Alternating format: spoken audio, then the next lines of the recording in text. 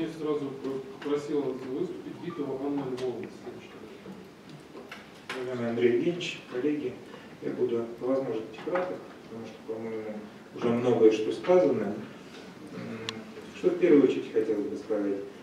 Здесь обсуждалось, обсуждался как один из самых главных вопросов, это вопрос открытости психоневрологических интернатов.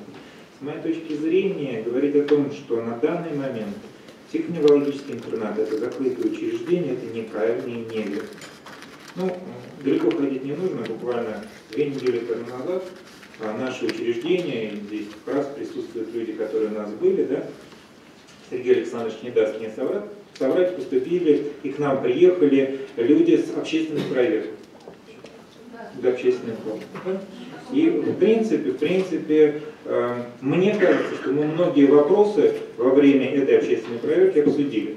Да, в чем-то сошлись, в чем-то не сошлись во мнении. Но говорить о том, что дискуссии у нас никакой не получилось, я так не стал говорить. Правильно? Надеюсь, что правильно. Далее, конечно, хотелось бы несколько изменить ту резолюцию, которая вот здесь э, приложена к нашей сегодняшней встрече, потому что есть те э, пункты, которые ну, совсем не соответствуют действительности. Ну, например, пункт 14. Здесь о моем учреждении, о нашем учреждении отрицательно. Смертность среди проживающих возросла на 25%. Э, господа, но у нас ситуация такая, конкретные данные по 2014 году у нас 52 человека умерло из тысячи человек проживающих, а в 2015 году умерло 52 человека. Где этот процент, где этот скачок? Я вам конкретные цифры привожу, говорящие о том, что вот таких негативных изменений я, по крайней мере, в своем учреждении не вижу. Кстати, хотелось бы обратить Э, ваше внимание на то, что по резолюции, да как и сегодня, вообще проходит только два учреждения, 31 и 30. А что у нас других интернатов и пансионатов нет? Ну, мы что, притча в языцах, да? Конечно, 30-й интернат один из самых крупнейших. Один из самых крупнейших по численности там проживающих людей. Это не значит, что у нас нет других интернатов.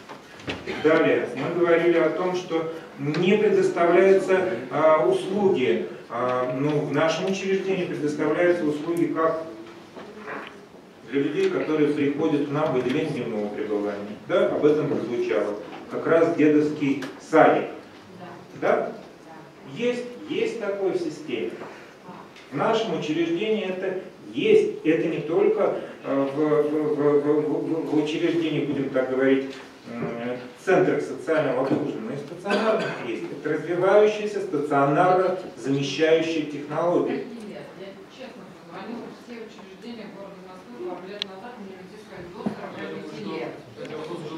Я думаю, в индивидуальном, да, в индивидуальном порядке мы это готовы обсудить. А, далее, э, вопросы, связанные с кадровой политикой. Оптимизация действительно прошла, и она в любом случае еще будет продолжаться. Но если мы говорим об административном звене, которое расширилось в нашем учреждении, а полевых работников у нас уменьшилось, это не так. Оптимизация не затронула ни одну санитарку, и как их было, определенное количество так и работало. А вот все, что касается административного звена, да, у меня на данный момент уже не четыре зама, как было ранее, а три. Будет что-то еще меняться, и необходимость уменьшить административное звено возникнет, значит будем уменьшать. Поэтому э, я бы хотел все-таки, чтобы мы не говорили голословно. Вот с моей точки зрения это неправильно не неверно. Тем более, ну не будем забывать о том, что в нашем учреждении за, только за 2015 год прошло 14 проверок. Часть из этих проверок, э, ну давайте говорить определенно и четко, они были вызваны обращением людей, которые здесь присутствуют. Аллы Викторовны Мамонтовой, да, и Будыкиной, э, прошу прощения, Ларисы Васильевны, да, а, и все эти результаты, они есть и говорят о том, что факты, которые указаны в жалобах, они не соответствуют действительности. Они соответствуют действительности. А, я прошу прощения, да, Поэтому а, прокуратура, Роспотребнадзор, Роскошнадзор, Общественная палата, все эти проверки прошли в нашем учреждении. И э, я не говорю о том, что после этого значит, мы закрыты и говорим, у нас все идеально. Нет, мы двигаемся, мы развиваемся, меняется ситуация, меняются требования, и мы тоже двигаемся вперед. Но вот приезжали люди из общественной палаты, посидели, пообщали, пообщались, определенные вещи взяли на вооружение, и будем их обязательно внедрять. То есть мы не являемся закрытыми учреждениями. Вот на это хотел бы обратить ваше внимание. Прошу прощения, у меня сейчас уйдет социальное такси, я не смогу уехать тогда домой. Буквально одну минуту.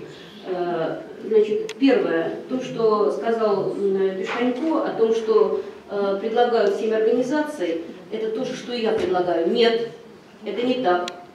Здесь снова идет навязывание, а я предлагаю свободу выбора. То есть человек сам для себя решает, получает он те деньги от государства, которые государство ему выделяет, но сейчас выделяет через э, госучреждения и фирмы, или же он все-таки сам будет нанимать себе людей. Второе. Здесь прозвучала цифра, которая постоянно скрывается, о том, что 50 тысяч выделяется на клиента. Нет. ПВТ в месяц выделяется 120 тысяч рублей на одного клиента. А в ПНИ, я так предполагаю, еще и больше. Я просто не связана с ПНИ, я не знаю. И последнее. Значит, э, возможностей как бы нет. Есть. Государство выделяет более чем достаточно денег на достойный уход клиентов.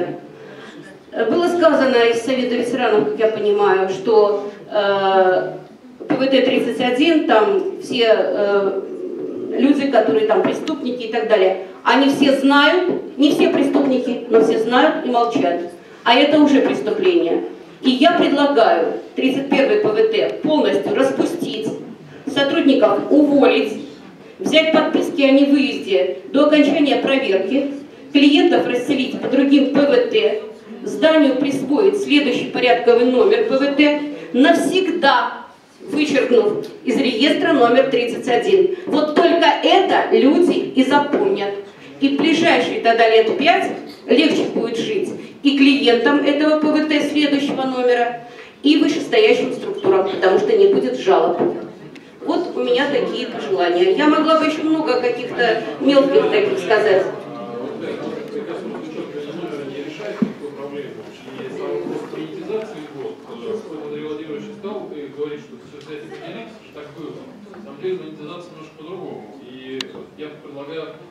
говорит. На нее очень детально, когда мы заявляем о необходимости монетизации, мы уже проходили этап монетизации. Когда по 500 рублей все получили, Нет, я предлагаю по выбору, это не монетизация. Монетизация, когда нас лишили в натуральном виде. Ольга А- я ведь с вами не спорю. И абсолютно э, с вашей сторонник в том плане, что нужно находить механизм э, выбора либо какого-то иного, э, ино- иной альтернативы, но находить просто, когда давайте мы отменим, закроем, расстреляем и э, подписку о невыезде, это на сегодняшний день не До окончания проверки, а проверку надо проводить. Мое пожелание. Реплика с места. Маленькая ремарка. Можно реплику с места? Почему в Беслане до сих пор нет школы номер один? Номер имеет значение. Конечно. И там Только это- обязательно запомнился. Так же, как распуск 30-го ПМИ. Только это и запомнится. Невозможно молчать.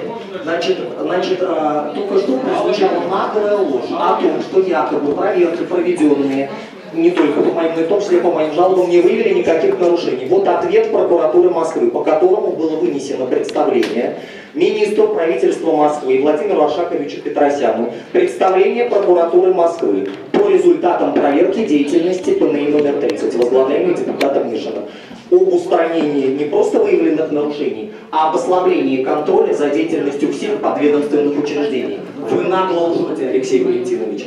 Ваша патологическая лживость, когда вы публично в СМИ называли себя психологом, не имея психологического образования, имеет подтверждение. Это все сохранилось на всех носителях. И каждая проверка находила у вас нарушения. И они есть в официальных ответах этих организаций, которые я разожгли всем депутатам Московской городской. Не же воспользоваться для чего вообще он мне нужен. А, Потому что всегда мы э, работали в режиме, когда если возникает вопрос. Я уже.